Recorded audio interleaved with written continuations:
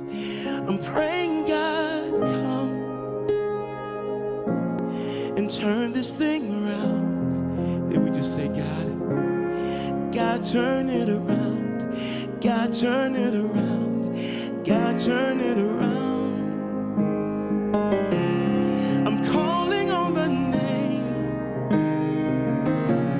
that changes everything. Turn it around. God, turn it around. God, turn it around. Cause all of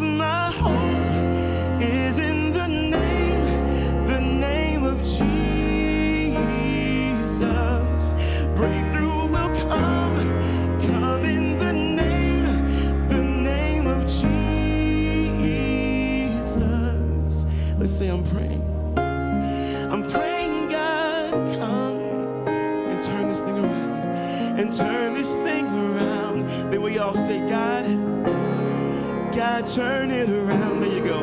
God, turn it around. Say, God, turn it around. I'm calling on the name. I'm calling on the name that changes everything.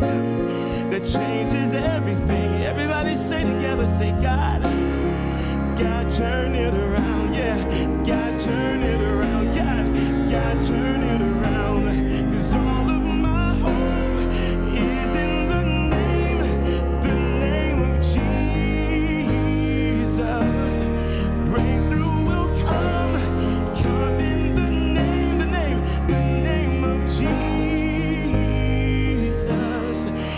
turn it around. God, turn it around. God, turn it around. Oh, we know that He will. We believe He will. God, turn it around. God, turn it around. God, turn it around. Oh, you know what I believe? I believe we serve a turn it around God.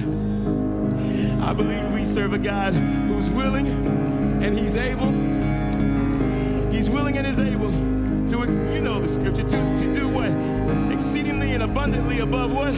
All that we could ever ask or think. And I believe that He's willing to do it. And not only is He willing to do it, see, a lot of us know that He's willing to do it, but we forget that He's in the process of doing it right now.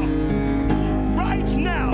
We serve a right now God. You might not see it right now, but He's working right now. And so at church, we love to say it like this He is up to something. He is up to something.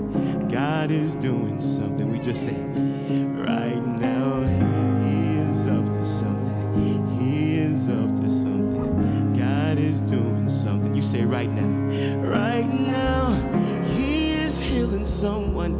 He is saving someone. God is doing something right now. Say, right now, He is healing someone. He is saving someone. God is doing something right now. Say,